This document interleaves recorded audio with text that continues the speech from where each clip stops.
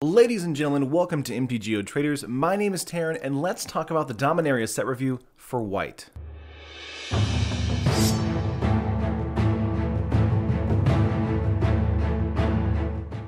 So I'm technically going to be starting at number one on the slot as far as the like the set numbers go. So actually number one is not a white creature, it's actually a colorless planeswalker. We'll talk about that in just a minute, but of course before I get into it, make sure to like the video if you like it, subscribe to the channel if you haven't already. We have a ton of content coming out for Dominaria in the near future. This next coming week will be full of set reviews, then a pre-release video, and of course the following week will be full of deck techs for Standard. I cannot wait to get back into Standard. I'm just super pumped, and Dominaria is looking like probably one of the best sets in the last, I don't know, five, six, seven years. Probably since, you know, Ravnica or Innistrad. Like, it's crazy. There's just so much, like, great value and, of course, flavor within the set as well. But let's start off with number one here, Karn Siren of Urza. Siren? Cyan. Scion. Yeah, that one. it's a four colorless, uh, five loyalty planeswalker Karn. Plus one, reveal the top two cards of your library. An opponent chooses one of them, put that card into your hand, and exile the other with a silver counter on it. Negative one, put a card you own with a silver counter on it from exile into your hand. And negative two, create a 0-0 colorless construct artifact creature token with this creature gets plus one plus one for each artifact you control. Um, Karn here is ridiculous. Um, also love the art, and for some for whatever reason they gave him like you know a loincloth. Previous iterations of Karn doesn't have like he doesn't have like any clothes. He's just straight up like bulk uh, you know, straight up swole. This one, they gave him a loincloth, which is funny. Um, plus one is pretty decent, being able to filter through your deck. That's kind of cool. And even if you, like, you know, they pick the, the bad one as far as, like, the two cards, you still can get it back with your negative one, which is actually very, very good, too. Being four uh, and coming in with five is actually very good as well. Um, and the negative two is ridiculous. It can be, like, a great game ender um, if you're playing, like, an artifact-based deck. And since this is a colorless, like, planeswalker, then this is probably going to be an artifact-based deck in standard, and that's amazing. Obviously, this is a mythic, so you're not really going to see this in draft or sealed that much. Obviously, you can open into a pack of this, and if you do, uh, congratulations, this can go into any like deck you're going to build. Um, Karn is super good though, and I love it. We'll definitely be playing this in standard, maybe even modern. I don't even know. This card is super good. Um, we'll definitely try and build a brawl deck around it as well. Uh, let's move on to our white cards, starting out with Adamant Will. Love the art on these cards. I mean, seriously, there's just so much good art in this set. It's kind of insane. This is a two uh, uh, mana instant. Target creature gets plus two plus two and gains indestructible until end of turn. Not too bad. Um, this is going to be a common. One of the things I'm going to have to kind of point to is the actual set symbols, the white, gray, gold, and like mythic, um, they're very kind of hard to differentiate from each other, the white and especially the silver. Um, so I'm going to probably make sure I look at the bottom there where it says C for a common and uncommon. So if I do get that wrong on any, on any of these set stuff, please let me know in the comments below. You know, I'm sure you'll let me know the time marker. That would be great. Because uh, sometimes looking at it just kind of at first glance, this looks like an uncommon to me as far as like the set symbol, although it is an, a, a, common overall. But in Draft and Sealed, this is a card you want to pull into. It's a great, uh, you know, like decent combat trick. You want to pull into this as soon as you can. I like it a lot. Um, this probably won't see any kind of standard play though. Moving on here, we have Aven Sentry. This is a 4 mana 3-2 flyer. Very simple, very straightforward. Um, you're going to pick this, you know, as a, like, you know, more top to mid-end uh, pick in draft and sealed. Probably going to pick this more in draft than you will sealed, uh, since your pull might not be as impactful as in a sealed deck list. Um, but I do like this card overall, and of course, the art is fantastic. Uh, moving on, we have Baird, Steward of Argive. Argive or Ar Argive? I don't know.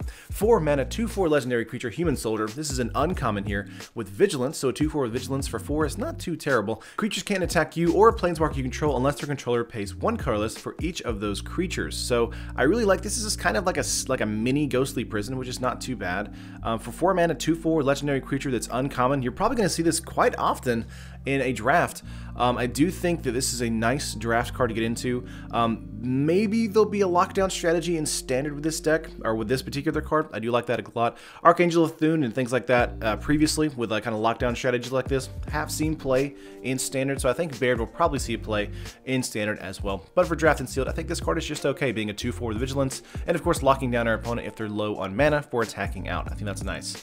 Next up here, we have Benalish Honor Guard. This is a 2 mana 2-2. It's a common uh, human knight Benalish Honor Guard gets plus one plus zero for each legendary creature you control. So I like this card a lot, and there are a ton of legendary creatures in the actual set here. So if you can get into a lot of them in Draft and Sealed, this card is going to be a huge bomb coming in, being maybe a three or four or five two.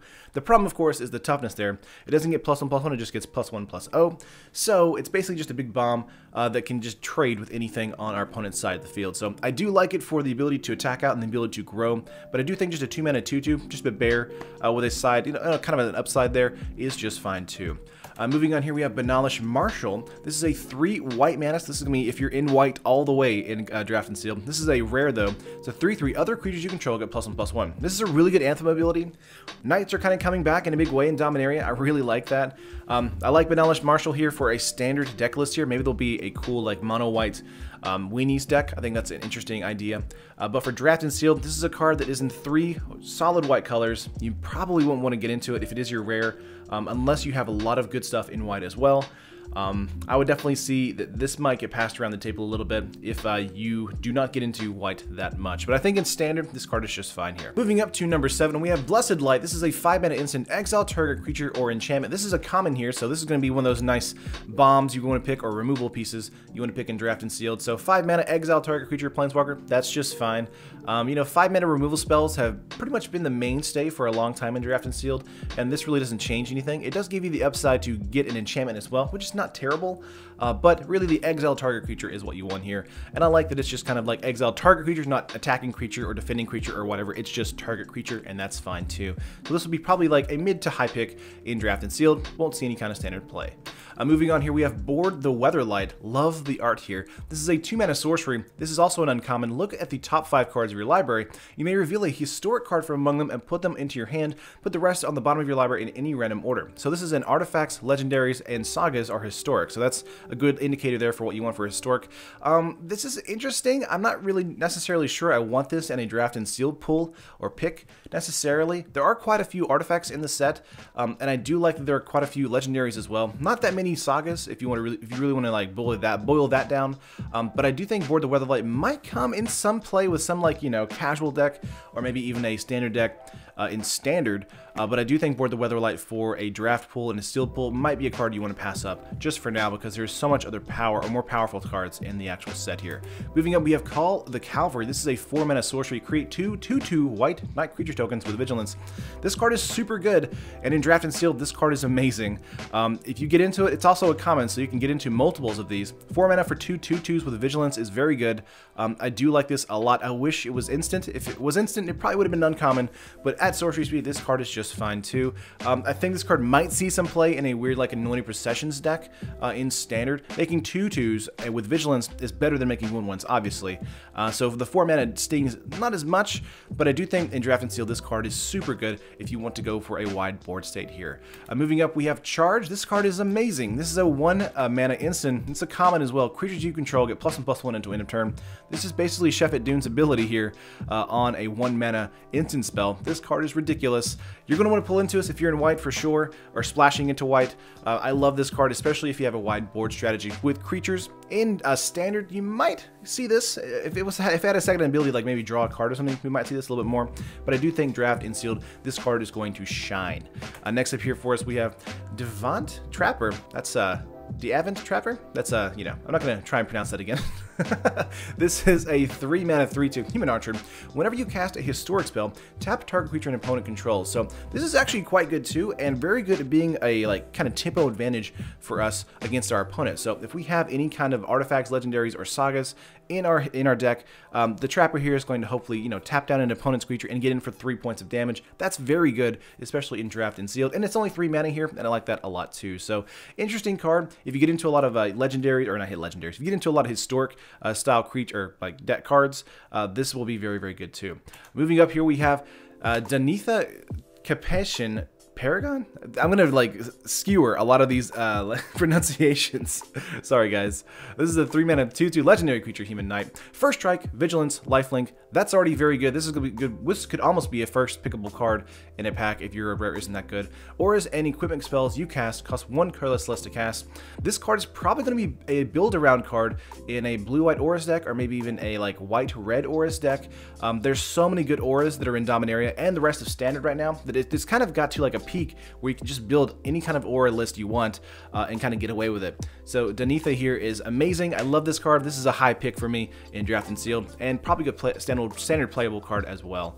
Moving up here, we have Daring Archaeologist. This is a fun card. This is a 4 mana creature artificer. This is also a rare. It's a 3-3. When Daring Archaeologist enters a battlefield, you may return target artifact card from your graveyard to your hand, and whenever you cast a historic spell, put a plus one plus one counter on Daring Archaeologist. So this card is super good if you have a lot of historic cards in your deck list in Draft and Sealed. Um, this might not be a rare you want to go with though, because it is a rare that just gets larger over time, which is nice, but at the same time you have lots of removal in the format as well. So in Draft and Sealed, this might be a lower pick for me if it's a open pack. You might get past this uh, several times. In uh, standard though, this might be a cool build around card for a nice like uh, against the odds deck, you know, like Saffron Olive style uh, deck. I think this card is fun for that. Um, but besides that, this card is uh, just just okay. I like the art the most here. Moving up here, we have Dauntless Bodyguard. A 1 mana 2 1 human knight. That alone makes it a pretty high pick in Draft and Sealed. As Dauntless Guard enters the battlefield, choose another creature you control. Sacrifice Dauntless Bodyguard. The chosen creature gains indestructible until end of turn. So this is actually very good for us. It's a 1 mana 2 1, so that's super good being able to be uh, very aggressive. But when it comes to the battlefield, we choose something on our side of the field that we don't want to die, let's say like a big bomb, and our opponent has a removal spell. We can just sacrifice Dauntless Bodyguard and make that card indestructible for until the end of turn. That's very good. Um, and it can also make make it so that uh, we can actually trade really well into um, some good attacks or blocks too. So I like this card a lot. It's a very high pick for me um, in Draft and Sealed. Might not see any kind of standard play, but it is an uncommon, so you might not see it as much in Draft and Sealed.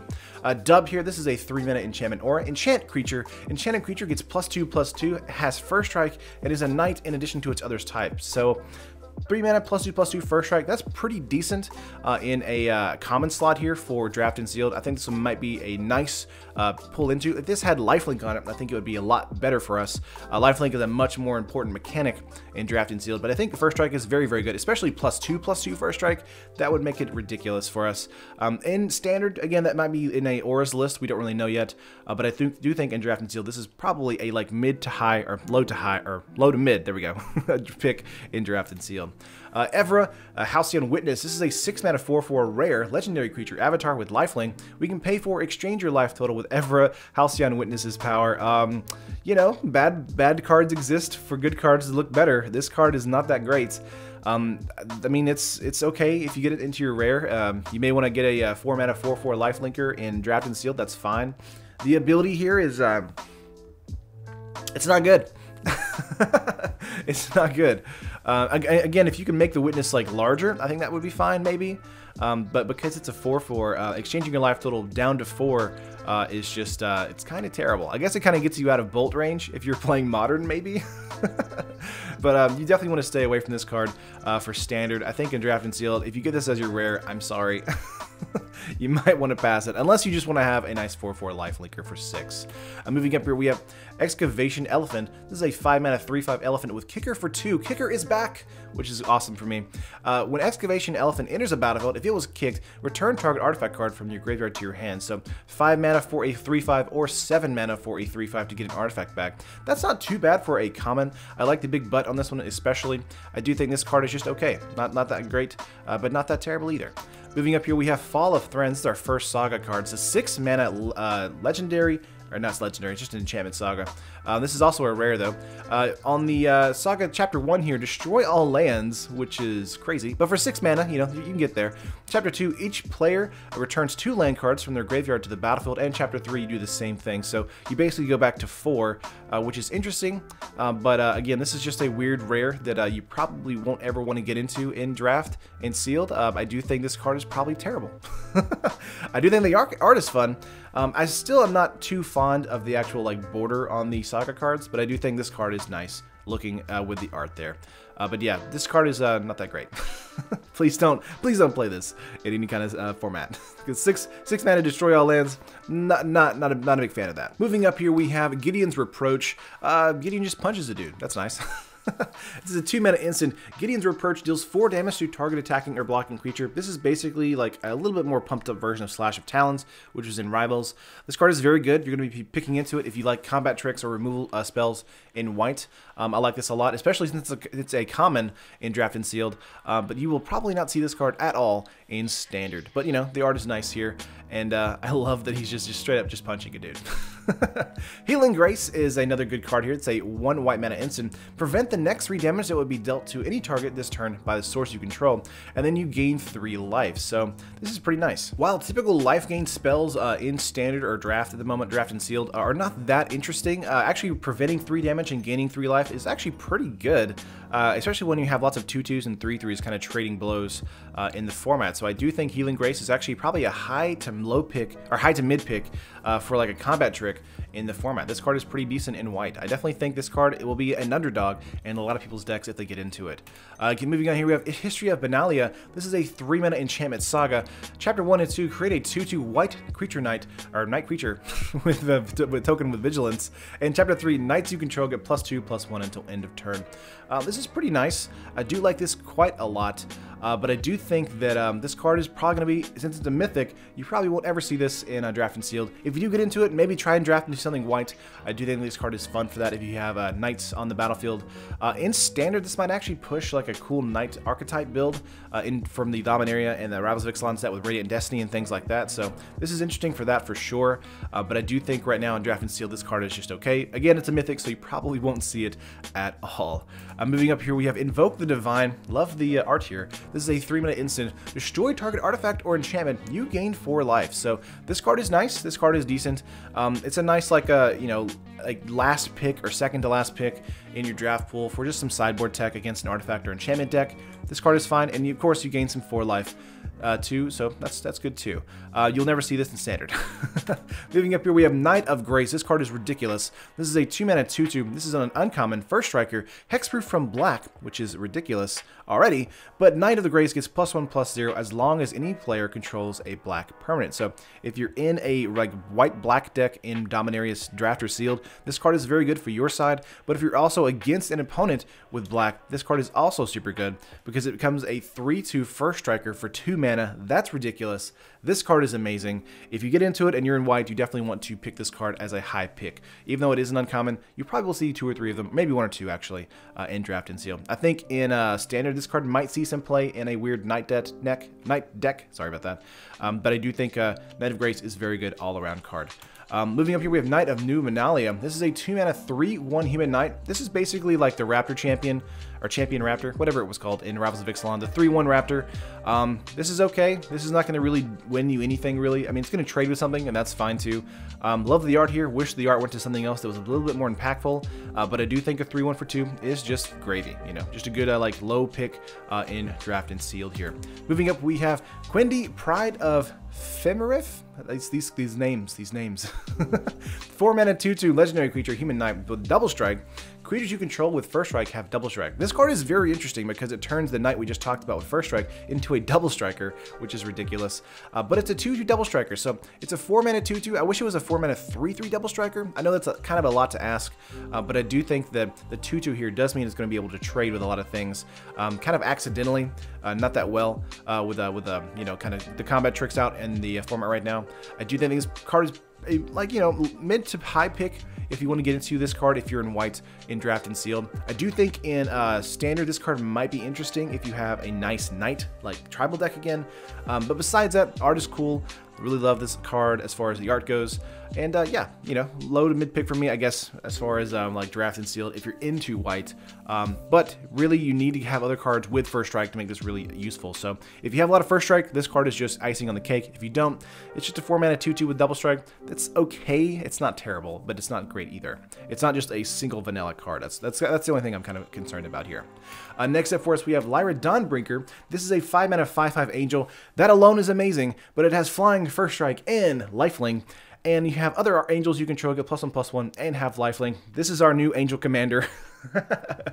for uh, Commander, um, and also our Angel Commander in Brawl, which is really fun as well. I love the art here especially, and I think if you do get into this as your like opening pack, even though it is a Mythic, if you get into this in your opening packs in Draft or Sealed, uh, this card might make you into a white player if you have a lot of good white Angels or white cards to build around it. Just flying First Dragon Lifelink on a 5 mana 5-5 is ridiculous.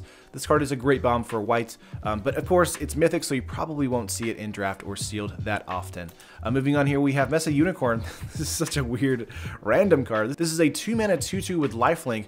It's pretty nice. It's, uh, you know, it's a unicorn. I wish it was a horse. It feels like it's a missed opportunity that it's not a horse, because uh, we have, you know, Crested Sunmare in the format right now. Um, this is fine. Um, just kind of confused why uh, this is in the set. it's, it's very weird. Um, we have On Serra's Wings here. This is a 4 mana legendary enchantment aura. Enchant creature. Enchanted creature is legendary, gets plus 1 plus 1, and has flying, vigilance, and lifelink. So this is actually kind of like Mark of the Vampire that was in Rivals of Ixalan. So this means it's a 4 mana on white um, that's very, very good at being able to turn one of your creatures into a plus 1 plus 1 flying, vigilance, lifelinker. And that's very good uh, on the board state. Of course, you do want to keep in mind that if you put this on a creature and, and it turns it into legendary, um, that it is uh, one of those things where you couldn't do multiples of these on the same type of creature. So that's something to keep in mind. Um, but I do think On Serra's Wings is super good regardless of that. Um, so high pick for me in Draft and Sealed. This probably won't see any kind of play in Standard, just a little bit too expensive. Uh, moving on here, we have Pegasus Corsair, Corsair, Corsair, Pegasus Courser, I think that's what it's called.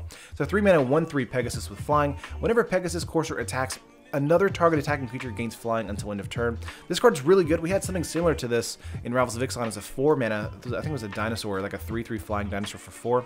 I think at the 3 mana slot, this card is so much better at the at the common slot as well. You're going to see multiples of these too. A uh, 3 mana 1-3 flyer is very good in Draft and Seal, but being able to give something else flying as well, that's just amazing. So I think I like this card a ton here. Um, I do wish it was, you know, a horse Pegasus. That'd be great as well. Again, that Crested Sunmare, there's a lot of horses in here, but they're not called horses, so it's just uh, kind of sad to me. This card's very good, though, in Draft and Sealed. Uh, moving up here, we have Sanctum Spirit. This is a 4-mana 3-2 lifelinker. Discard a historic card. Sanctum Spirit gains indestructible until end of turn. So, again, we can discard an artifact, legendary, or saga from our hand there. A 4-mana 3-2 with lifelink is okay, but making a 4-mana 3-2 lifelinker with, like, indestructible for a turn, that's a little bit better, because it does mean we can actually uh, kind of trade with something a little bit more in our advantage, or with our advantage, or with an advantage. There we go. English, what is this? Uh, I think I think Sneaker is fine in draft and seal. Uh, it's an uncommon, so you're probably going to see one or two of them in the actual pool.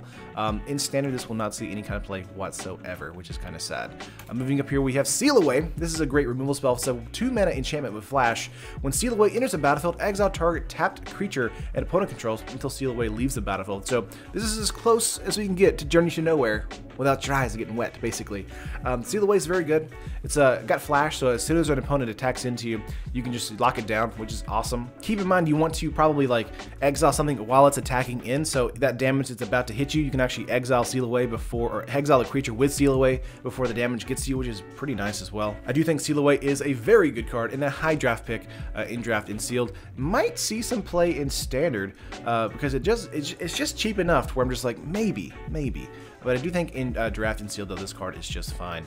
Uh, moving up here, we have Sergeant at Arms. This is a 3-mana 2-3 human soldier with Kicker for 3. When Sergeant at Arms enters the battlefield, if it was kicked, create two 1-1 white soldier creature tokens. Um, this is a common.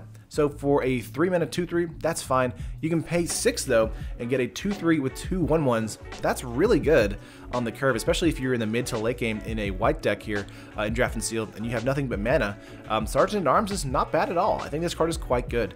Um, I definitely think this card will probably not see any kind of play in Standard unless there's like a weird like Soldier or Knight deck or something like that again. Um, but I do think overall Sergeant at Arms is probably a like, you know, low to mid uh, pick in Draft and Sealed. Moving up here, we have Serra Angel. It's back. She's back back. It's a 5 mana 4 4 angel with flying and vigilance. I was kind of sad that this wasn't like shot down to common, um, but you know, a 4 mana 4 4 flying vigilance is very, very good. You're going to see probably her once or twice in a draft and sealed pool. I love the art here. I think that Serra Angel has just always been a good card in Draft and Sealed and will always be a good card in Draft and Sealed, and that's no different here in this set. Uh, but of course, in Standard, you're not really going to see any kind of play with this card. Moving on up, we've got Serra Disciple. This is a 2 mana 1 1 Bird Cleric with Flying and First Strike. Whenever you cast a Historic spell, Serra Disciple gets plus 1 plus 1 until end of turn. Uh, this is a common, so a 2 mana 1 1 Flyer First Striker is very good. So getting a enchantment aura attached to the Serra Disciple is actually a good idea that you want to do with this card. Um, I do think this card is not as good as I feel like it should be. The uh, historic spell, uh, like plus one plus one, is nice. I wish it was like discard instead of cast, because it does mean that uh, an opponent uh, can just, uh, you know, we, have, we if we block with it, it, you know, it just dies because uh, it's a 1-1 first striker. But I do think this card is decent enough uh, to be a, you know, like mid to high pick in a draft and sealed pool if you're into white and you like flyers. This card is good for that. I don't think you'll see this at all in a standard though. Moving on, we have Sa Sa Shalai? Shalai, I think it's Shalai. Voice of Plenty. This card is amazing. This is a 4 mana 3-4 legendary creature angel with flying. You, planeswalkers you control, and other creatures you control have hexproof. That alone makes this card a straight up bomb, but you can also pay three, or not three, six, uh, which is four colors and two green. Put a plus one plus one counter on each creature you control. This card is crazy. This card is going to be definitely a brawl like commander. This card is probably going to be an EDH commander as well uh, in a green white pool. I think this card is super good in uh, draft and sealed if this is your rare as well. I just think all around this card is just kind of like amazing. It's like a 10 out of 10. Like everything this card does is good. It's got a, a nice big butt with a four toughness there. It's got a nice attack power with three. I wish it had maybe vigilance to like give it something extra, but I think everything else besides that is just ridiculous. Basically, they have to get rid of Shalai here before they can get rid of anything else on our battlefield, and that's just gravy. Uh, moving up here, we have Teshar Ancestor's Apostle. This is a 4 mana 2 2 legendary creature, Bird Cleric. This is another rare here with flying. Whenever you cast a historic spell, return target creature card with converted mana cost 3 or less from your graveyard to the battlefield. This card is super interesting. Um, I'm not sure if this card will be that great in uh, Draft and Sealed. However, I think this card might have some real longevity in play in Standard. Just the ability to grab something from the graveyard back to the battlefield after casting an historic spell. Again, historic is legendary creature, artifact, or saga basically artifacts for us. Um, I think this card is going to be really, really good in Standard. In some weird, like, combo deck, maybe? I don't really know yet. Um, I do think this card is super good for that particular reason, though. Moving up here, we have Tragic Poet. This is a 1 mana 1 1 human. You can tap it, sacrifice Tragic Poet, return target enchantment card from your graveyard to your hand. Um, this card is okay. In Draft and Seal, this card might be okay to grab like your one or two of Enchantment Aura uh, from your graveyard. I do think in Standard, this card will not see any kind of play at all. Um, it's kind of tragic, barring the name here, uh, that this card will likely not see any kind of play in any format, other than maybe Draft Seal just being a one of or two of, maybe. It is a common there, and it can get back an enchantment, so that's interesting. You know, it, I just don't think that we'll see too much of it though. Uh, moving on, here we have Triumph of Jared, Jared, Gerard. Gerard, maybe. Gerard Butler? Yeah.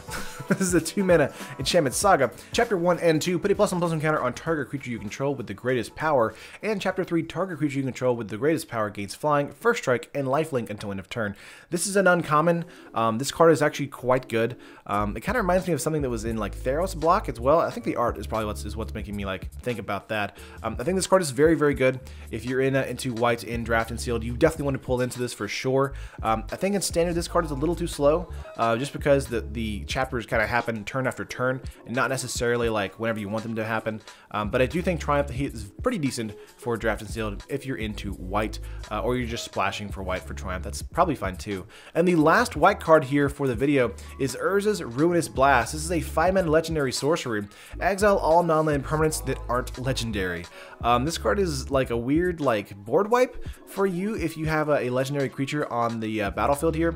It's interesting. Um, I'm not too fond of it as far as being drafting sealed. It is a rare, so you probably won't get into it that often.